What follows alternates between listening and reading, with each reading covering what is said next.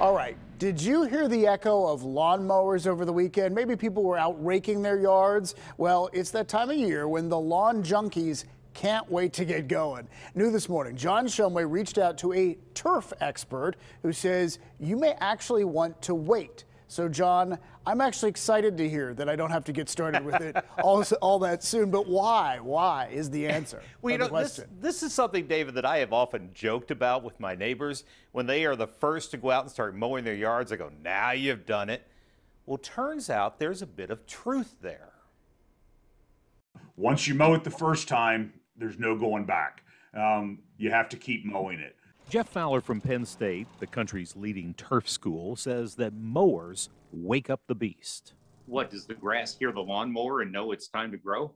Well, no, but when um, mowing stimulates growth, especially in the early spring. Sometimes it takes twice a week um, to to stay ahead of that one third rule. The one third rule: never remove more than a third of the blade of grass.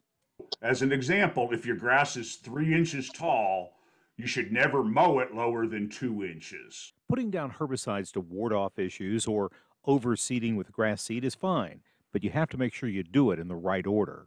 Those um, treatments will not only stop the crabgrass and goosegrass and other annual grasses from, from germinating, but they'll also stop the good grasses from germinating. Dandelions, what do we do? we need to to chemically controlled dandelions um, if we're going to if we're going to control them. Um, and and that time to do that is um, right before they bloom, right before they turn real yellow. Um, go out there with a um, a broadleaf weed killer and and knock them out. Or, David, you can harvest the dandelions and make salad or possibly make some dandelion wine, whichever you prefer. I have never heard of dandelion wine before, but I'm willing to give it a shot. uh, so basically, though, he was saying, we learned before, you need to take a soil sample first, or you could just be wasting your money, right? I mean, this yeah. is, and I've never heard of that. I've never done that before. Yeah, and it's a relatively simple thing to do. The kits are like $10. You can get them at the home improvement stores. And he said it's. It's important because it's like going to your doctor and they give you blood pressure medicine, but they never take your blood pressure.